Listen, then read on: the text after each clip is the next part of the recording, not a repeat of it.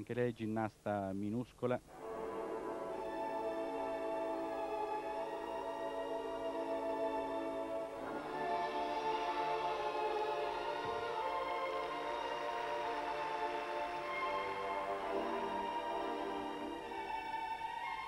Nella prova del corpo libero a Roma aveva ottenuto 9,275 aveva eh, sbagliato nettamente una diagonale la torinese ma seguiamo la sua prestazione.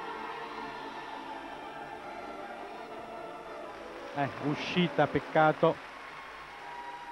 Un decimo di punto di penalizzazione per questa uscita di pedana 12 metri di lato.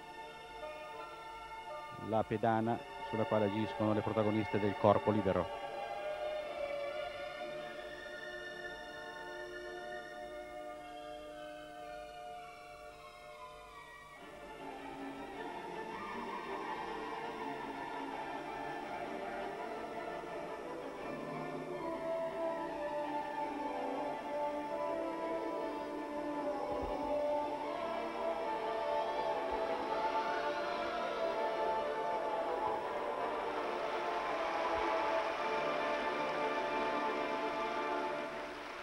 Senz'altro meglio che a Roma la prestazione al corpo libero della